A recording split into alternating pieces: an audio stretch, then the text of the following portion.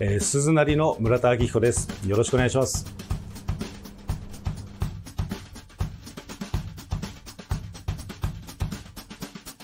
えー、春野菜とタイの旨煮をご紹介いたします。春に美味しい野菜、出てくる野菜ですね、タケノコとか芽のものとかいろいろありますけども、そういったものを旬のタイと一緒に炊いた旨煮になります。で春野菜なんですけども、あの今回はこうやって新じゃがとかレンコンとかたけのこ人参ですね。ごぼうなんかも春先美味しいですよね。新物が出てくるんで。あと春野菜に欠かせないのがこの山菜です。だから山菜ってなかなかどうやって使っていいのかわからないと思うんですけどもこういったタラの芽だったりこれはあのゼンマイ系のこごみというやつですね。こういうのだったら結構スーパーで売ってます。で菜の花です。今回ちょっとボイルはしてありますけれども菜の花とミニキャベツでスナップエンドウとかがあればいろいろな、まあ、春野菜の春らしさ。これもちろんもちろん椎茸も入っていいんですけども今回は椎茸入れなかったです。であの春といえばタイなのであの、まあ、春はタイが美味しい季節なのでこれも一緒にあの炊いていきます、はい、でまずこのタイですね。スーパーで大体こういう切り身であの煮付け用とか鍋用とかで売ってたりするんでこういった切り身を用意してください。大体一口で食べられるぐらいの大きさにカットしておきます。であの骨がついてるやつとかがありますのであの骨などは取り除いてください。食べづらいので。でちょっと大きめですけどあの一口大にカットしてください。こういった状態ですね。でそうしましたら次野菜切っていきます。でごぼうですね。ごぼうは一回表面たわしなのでえっ、ー、とちょっと強めに洗ってください。そうすればあの汚れだったり土臭さだったりが軽減されるのであんまり取りすぎちゃうとあのごぼうの良さが失われてしまうので洗いすぎも注意ですね。でこれは乱切りということをしています。筑前煮のようなものは大体あのこういうものを同じ大きさに切るのがコツの一つですね。で人参ですね。今回はこれ金時人参という赤い人参を使ってますけどもあのもちろんあの洋人参でも構いません。で春先っていうのは野菜の中でも苦いものが多かったりとかあの栄養価の高いものが多かったりするんですけどそれはやっぱりあの冬にやっぱりこういろんな鍋料理とか、あのー、食べて体を体が何て言うのかななまってるというかあの活性化されてないので春になるとこう苦いものが増えてくるっていうのはそのデトックス効果があるあの苦いものを食べてあの毒素を吐き出すみたいな効果もあるのでやっぱりこう春先はこう苦いものが増えてきますよね。あのこれはあの炊いていくんですけども入れる順番はそんなに気にしないで大丈夫です。で半分に切ってちょっと厚めのスライスします。大体切ってる時にあの全てが同じタイミングで火が通るような切り方がよろしいかと思います。で新じゃがです。新じゃがはあの目の深いやつはあの目を取ってください。それ以外のものはこれ皮も柔らかいのでこのまま使うといいかと思います。このまま半分で切っちゃってください。小さければねあの1個のままでも大丈夫です。でタケノコですね、まあ、春といえばタケノコなのでちょっと大ぶりに切っていきます。でこんにゃくです。これこんにゃくはもうアク抜き不要のやつを使います。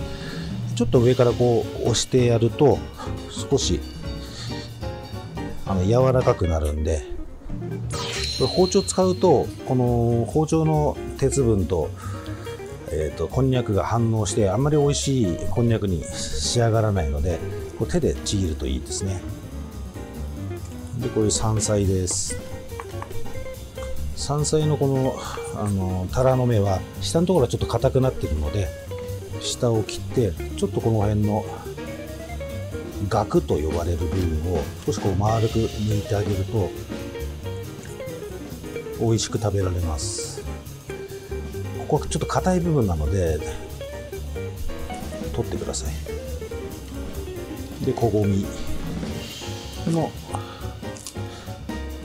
これもね火がすぐ通るのであの仕上げの段階で入れるといいですね。プチトマトです。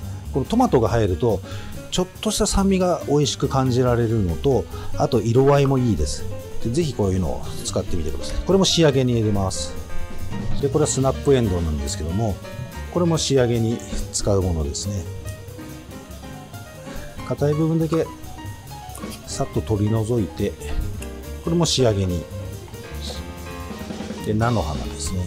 菜の花この長いままでももちろんいいんですけども切りそえてあげるとあの見た目にも綺麗で食べやすくなります。これを半分ぐらいに切ってあげます。はいこういった形で材料を切り分けておきます。で炊いていく前にあの鯛をあの野菜と一緒に炊いてしまうとあの崩れちゃうんですね。だからあの一回こう焼き目をつけて取り出しておきます。そのために小麦粉をはたきます。でこの小麦粉を打つことによって後々最後の方に入れても味が周りにコーティングされるのでしっかり味が表面につきますんで美味しくなると思います。で火をつけたところにまずこのぐらいです大さじ1程度のごま油ですね。入れます。でごま油は2回使います。これは太陽の太陽焼く用のごま油です。で温まったら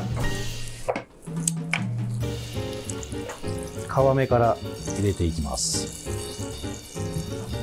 ちょっとこう反り返ってきてあの皮の色が良くなくなるのでちょっと初めはこうやって軽く押さえつけるような感じで焼き目をつけるといいかもしれないです。でこれは火を完全に入れるというのはあんまりこう気にしなくて大丈夫です。いい焼き目がつくように焼いてみてみてください。今火加減は中火より若干弱火にしてあります。中中の弱火みたいな感じですね。このぐらいの焼き色がついたらひっくり返します。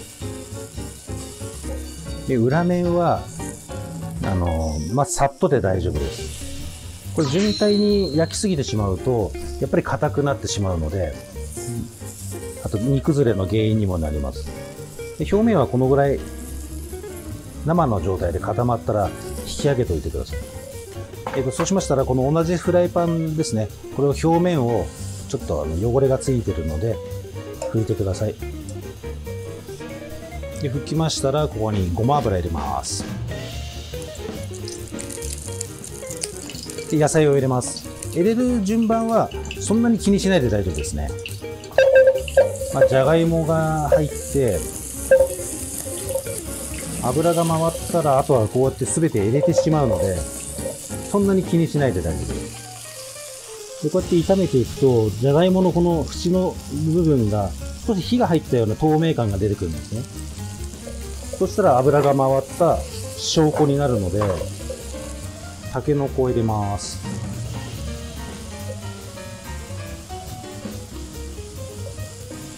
でこんにゃく入れます。でまた再度油を回します。でこれ一気で強火にします。こういうあのうま煮というのはいろんな野菜を結構多めの量であの炊いてやるとすごく美味しくなりますね。でこうやって油が回ったら次はお酒入れます。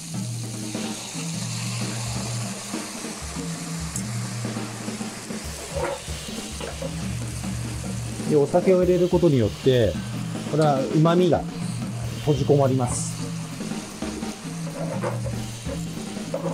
でシュワッと沸いてきたらこれだしを入れます。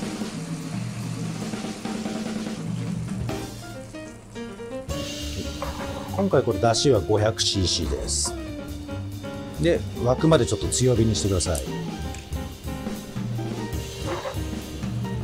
それであの沸騰してきたらここでちょっとあの一番課題この中で一番火が通ってほしいのはじゃがいもなんですね。じゃがいもに火が通るまでちょっと落とし落とし蓋これはアルミホイルですけどアルミホイルで落とし蓋をしてください。で中火にしてください。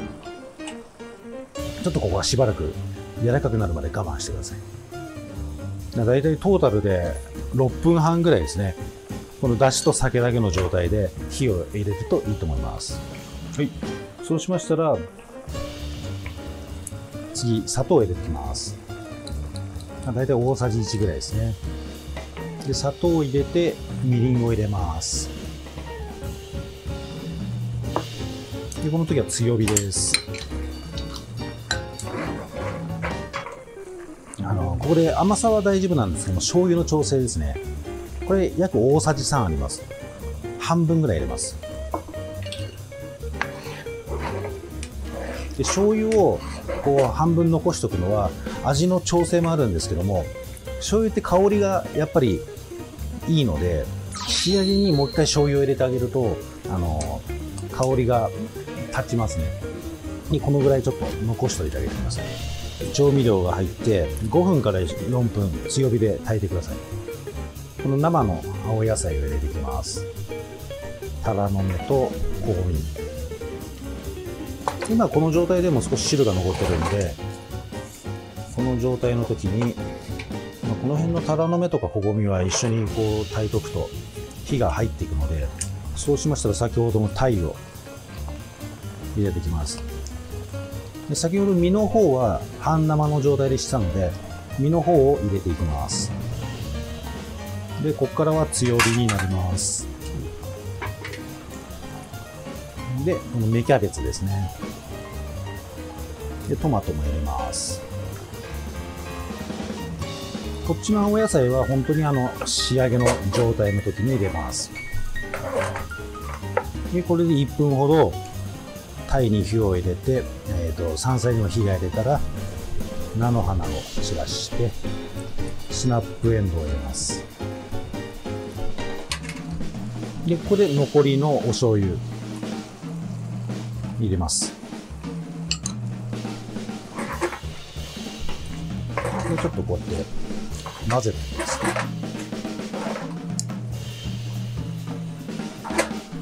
で醤油の香りが出てきたところで完成です、えー、それでは盛り付けていきます。こういうあの筑前煮のようなものは豪快に盛った方が美味しそうにすごく美味しそうに見えますので。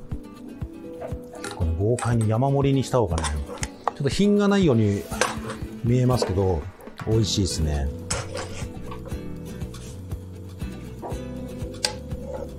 でこちら木の芽なんですけどももしご家庭にあったらあの香りでお使いください。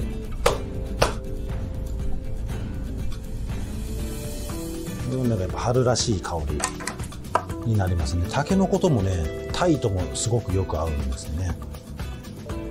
春野菜とタイのうま煮の完成です。